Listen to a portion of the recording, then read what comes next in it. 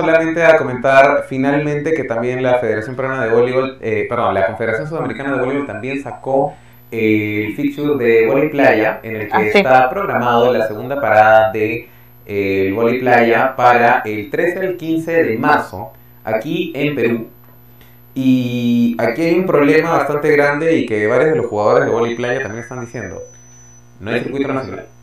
¿Por qué no Es grave, nacional? es muy grave. ¿Por qué no hay circuito nacional? Si la señora Pilar González, cuando estaba Diana en su primer año de mandato, ¿no? Bueno, sus primeros meses, sus primeros meses de mandato, la señora Pilar González era la encargada de hacer que el, el vóley playa se ejecutara. Playa. Exacto. Y ahora ya no existe vóley playa. No, y no solo eso, sino que eh, durante el año pasado, hablando con la jugadora de Volley Playa, se sacó el ranking, sacamos el ranking completo y Perú había logrado cupo a un, a un torneo de una o dos estrellas dentro del circuito de la Federación Internacional de Voleibol. ¿Por qué no las mandaron?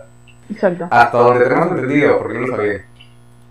Sí, es- ah, no lo sabían. Ahora, este, eh, este, este año en playa, justamente el torneo que se juega la clasificación a los Juegos Olímpicos. También, Exacto. ajá, Que van- que-. Exacto, que va a tener su fase final en Argentina, según leí en la FEBA.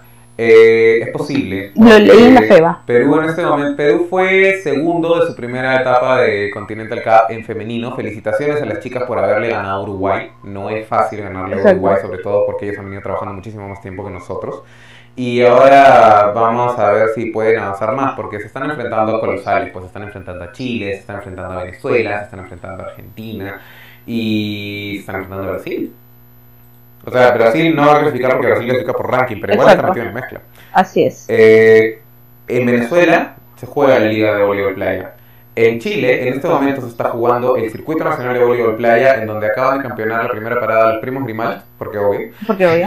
y las hermanas Forpal, que han vuelto al voleibol después de mucho tiempo, porque, bueno, obvio. Las hermanas Forpal.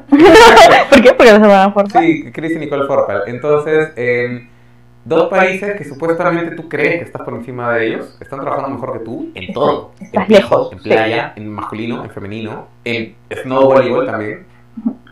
O sea, sí, sí, ya hay circuitos no voleibol. Argentina tiene circuitos no voleibol. Sí, se juega Bariloche, es hermoso. Claro, hermoso. Voy a ir, voy a ir este año. Voy a tratar de ir. Y a mí me gustaría ir a un circuito de snow voleibol en general porque me parece un deporte muy divertido. La nieve y las caídas hacen un efecto especial en el voleibol nieve. Hermoso.